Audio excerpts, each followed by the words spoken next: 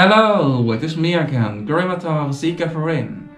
Let's we talk about tu quoque, tool fallacy.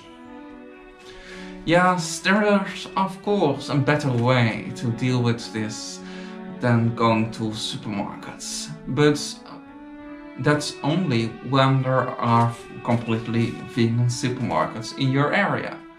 But for all the privileged people that have one, I must say, most of us have not that privilege of living near a completely 100% vegan approved supermarket owned by a vegan. So then we go to the next best option, and that is a supermarket. Supermarkets get very little profit from selling third-party products. In on average, they only get around 1% um, profit uh, from selling third-party products. This, of course, difference uh, when you go to bigger supermarkets than in smaller supermarkets, but this is the average. Um, supermarkets get most of their profits from selling their own brands, how are often more locally sourced and are their most um, preferred and most important assets. Uh, supermarkets are therefore quite different from multi-corporation worldwide enterprises like McDonald's, Burger King or, or KFC, who are uh, have their own brands where their whole company is built on.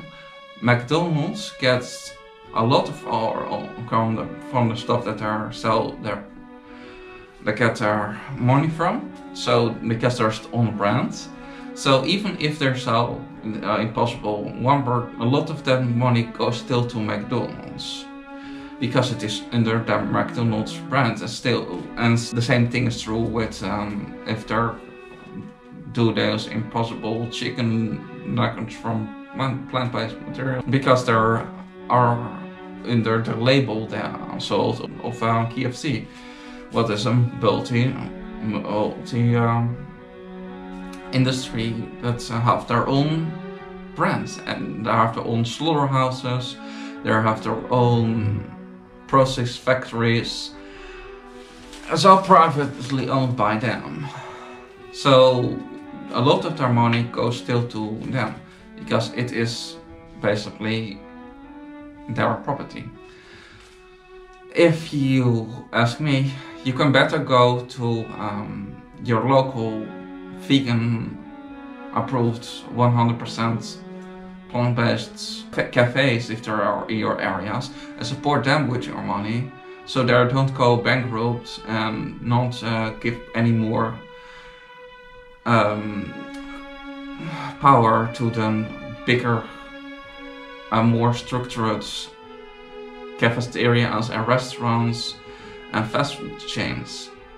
Because the more competition the less that's good for the bigger company corporations because then they get more um, monopoly control over a certain area.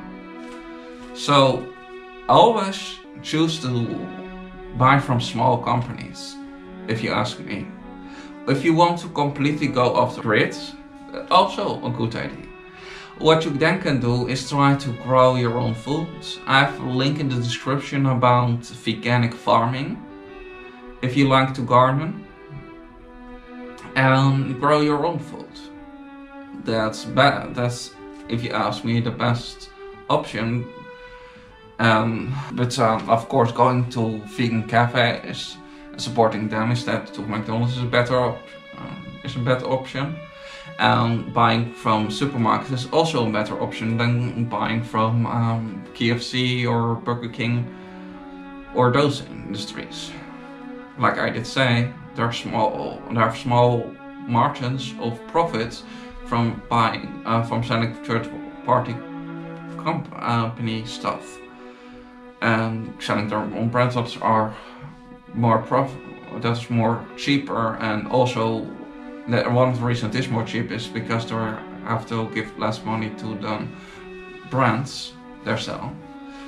Um, that's what I just wanted to say. If you don't uh, know any vegan um, approved cafe in your area, you can go to a website called Happy Cow, search for your area, and you'll probably find a lot of different kind of cafes and restaurants, and maybe even shops in your area.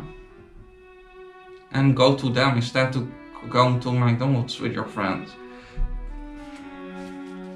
Maybe you find your new uh, hangout place where you can uh, eat with your friends.